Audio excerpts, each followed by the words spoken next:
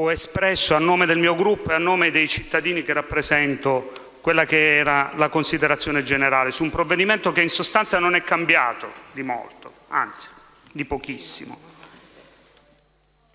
Quindi non vorrei riprendere discorsi già fatti allora o considerazioni fatte da numerosi colleghi adesso. Vorrei soffermarmi su quello che mi ha colpito in questa lunga estate, su un teatrino della politica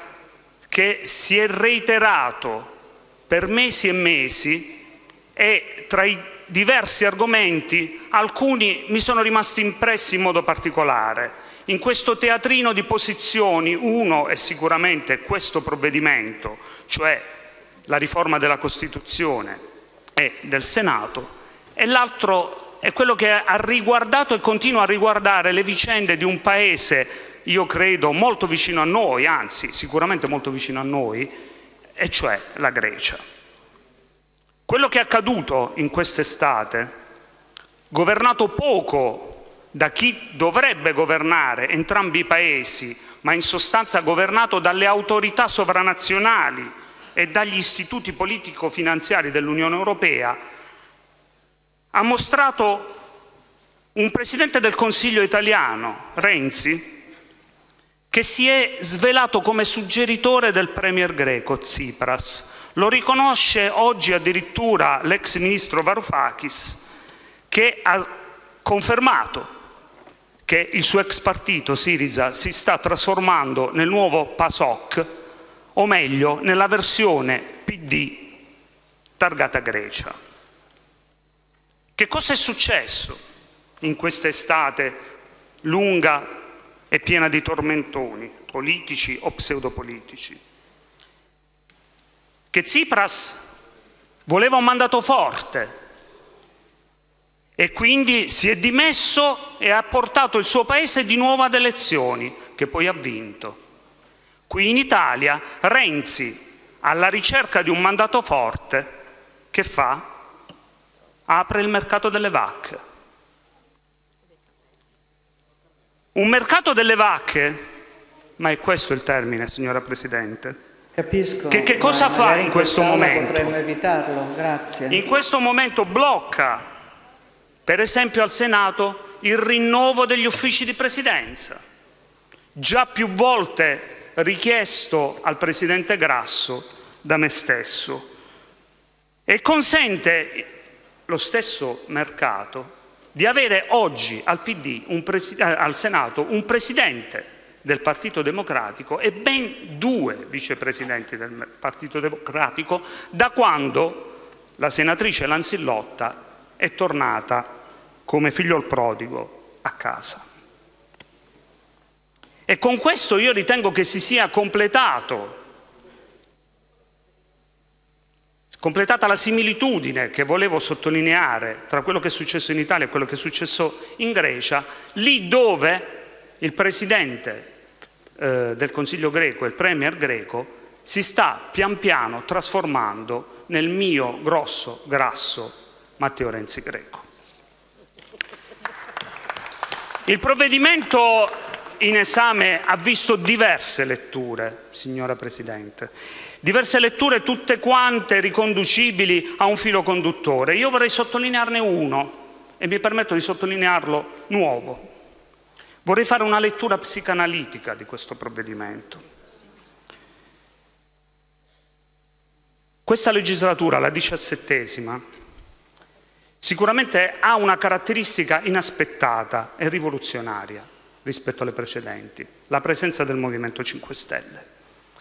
e all'irruzione del Movimento 5 Stelle nelle istituzioni tutti, tutti,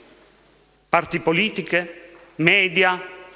lobby, poteri forti, hanno reagito come si reagisce quando c'è da elaborare un lutto. E l'elaborazione del lutto in questo Parlamento e nel Paese, soprattutto in chi ha in mano le redini dell'informazione e del potere reale, si è sviluppata secondo cinque fasi, che sono proprio le cinque fasi che la psicanalisi descrive nel processo di elaborazione del lutto. La prima quella di negazione o rifiuto, poi quella della rabbia, a seguire quella del patteggiamento, poi la depressione e infine l'accettazione del lutto stesso. E il lutto, arrivato dopo la presenza dei 5 Stelle nelle istituzioni, consiste nella consapevolezza che c'è una perdita, una fine in questo Parlamento e probabilmente nel Paese, inteso come si intendeva una volta, ed è la fine del sistema di dominio dei partiti, innanzitutto, ed è la fine di quello che io considero il vero combinato disposto che potrebbe portare, anzi che sta portando il Paese alla rovina, non quello che viene citato normalmente in quest'Aula, ed è il combinato disposto di un sistema di potere che per decenni ha imposto e controllato tutto e tutti, con l'azione dei media, che sono stati e continuano ad essere costantemente al servizio del sistema di potere. Questo sì che è un combinato disposto pericoloso per la democrazia ed è questo che ha prodotto soprattutto la fase seconda dell'elaborazione del lustro, la fase di rabbia, alla quale tutti si sono adeguati accanendosi soprattutto con la nuova forza politica che era entrata nelle istituzioni, il Movimento 5 Stelle appunto. Mi avvio a concludere sottolineando un altro passaggio per me importante, che è nel processo di elaborazione del lutto, qui in quest'Aula e nei gruppi politici, sono soprattutto i gruppi di maggioranza e soprattutto qui al Senato che si sono portati avanti, avanti anche rispetto al Presidente del Consiglio Renzi e al governo che egli guida. Soprattutto si sono portati avanti raggiungendo addirittura la quinta fase di elaborazione del lutto, quella dell'accettazione passiva, il gruppo del Partito Democratico al Senato con il suo presidente Zanda, il gruppo di Alleanza Popolare, entrambi con le sue punte di diamante, proprio Zanda, la senatrice Finocchiaro o il senatore Quagliariello. Ma mi permetto, i campioni dell'elaborazione del lutto sono i senatori della minoranza Dem, i veri protagonisti della sceneggiata estiva i veri protagonisti del teatrino che si è sviluppato e che io non avevo dubbi come sarebbe andato a finire e come vedremo che finirà. Quelli della minoranza Dem sono ben dentro la quinta fase del processo di elaborazione del lutto, la fase di accettazione passiva. Ora, signora Presidente,